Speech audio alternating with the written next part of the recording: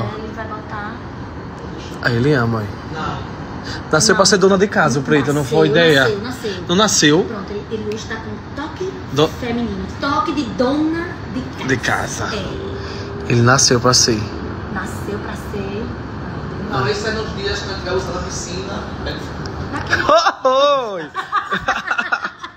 Vem, Jerusa, bota a toalha ali, Jerusa. Eu amo. Problema é que chove, né? Mas ele é lindo aí. Ai, preto, eu acho que ele combina aí mesmo. Charminho, fica. Tudo. Passa, é passa um tempo. Preto, eu amo ser dona de casa, né, Pinho? Eu amo. Realizo.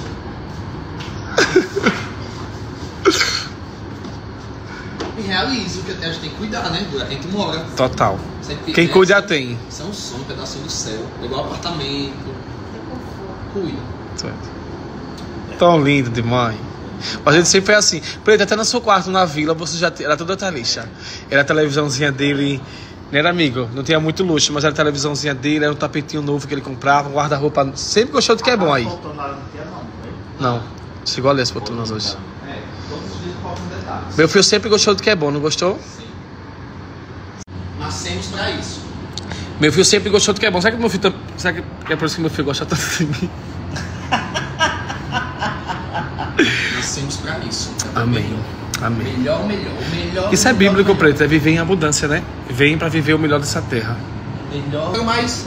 Amém. É mais, Também mais, mais, quero. mais, mais, mais. Cada lugar do mundo. Oi, amém. Eu também. Ô Paulo, você já mostrou às pessoas como é que você geme? Eu? Sim. Que conversa é essa agora? Gente, eu tô com vergonha ali desse vídeo do Paulo. Não sei nem se eu boto pra vocês. Vocês querem ver? Não. Passa a perguntar. Amigo, você geme na hora H? Muito. Como é que você geme, amigo? Ai, Como é, Paulo? ai. Gemida gostosa da pente! Eu sou passiva. Deixe! Me um presente da Prada, da Louis Vuitton. Olha. E a mãe dela disse que não tinha condições nem nada e tá perturbando o Juninho, dizendo que quer, né, Juninho?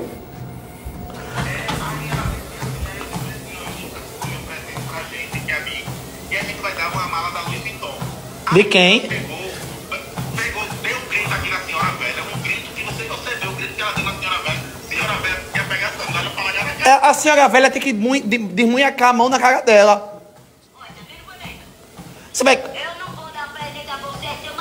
Ah, você quer gastar 10 mil reais em presente, cachorra? Não precisa gastar esse presente, meu presente já é você, Gostavo. Veja. Eita, que fizeram uma armadilha pra Vanessa dar um presente paraguai pro macho dela, Lucas Guimarães. Olha a reação. É um povo tudo burro da peste. Porque eu quero dar do meu jeito.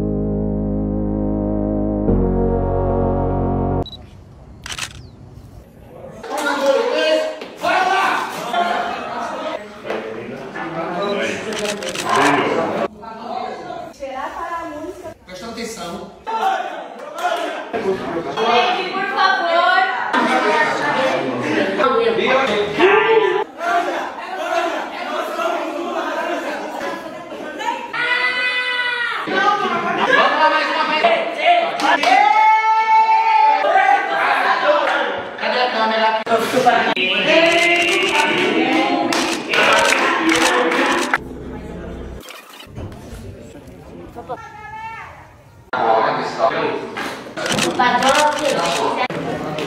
todos.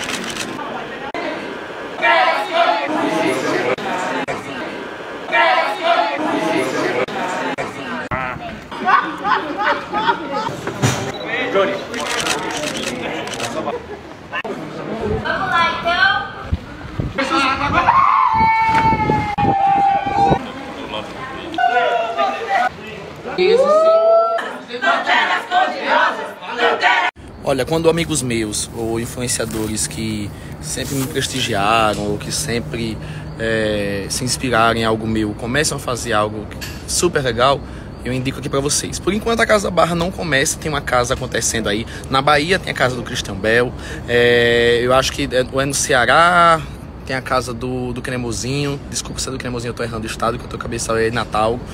E agora, em Recife, tem a casa do Neif, que tá muito legal. Entendeu? Então vão lá assistir, que vale super a pena. Rapaz, no final da noite, assim, às vezes eu. Pronto, hoje eu tô comendo sozinho, que minha cabeça precisa às vezes ficar só. Eu preciso disso. Um momento de eu ficar. comer meu cuscuz aqui, com a carne e cebola. Esse é aquele momento que eu. não sei, que eu sinto que tá eu e eu.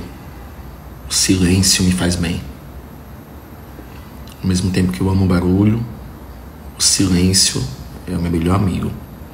Ele nunca foi para mim um inimigo. Tem gente que é apavorada com silêncio, apavorada, apavorada, apavorada. Porque começa a ecoar na cabeça tudo de negativo, né? Porque quando a gente está em silêncio, geralmente você começa a procurar na sua cabeça tudo negativo. E por incrível que pareça, para mim o silêncio sempre foi de pensar assim: caramba, olha o que aconteceu hoje de legal. Olha, dei tantos sorrisos hoje. E ontem que eu fechei uma publicidade. E ontem ontem que eu, sabe? Então o silêncio sempre foi para mim, não, nunca foi para ficar martirizando dor. Nunca. Não há espaço para esse tipo de coisa na minha cabeça quando eu tô sozinho. Ou ficar remoendo mágoas. Não foi. O silêncio para mim sempre foi para olhar assim e dizer: Hum, que lindo. E depois, tipo, o que é que eu vou fazer de novo? Quando as pessoas pararem de usar o silêncio para ficar indo lá no passado e remoer coisa negativa e se entristecer, elas vão ter ele como melhor amigo e as maiores ideias vai sair do silêncio. Por exemplo, agora. Ai, Agora mesmo eu tava. Que dia legal. Eu nem lembrei do que aconteceu de negativo hoje. Se teve alguma coisa, não lembrei. Dei muitos sorrisos. Já dizia Charlie Chaplin. Um dia sem rir é um dia perdido.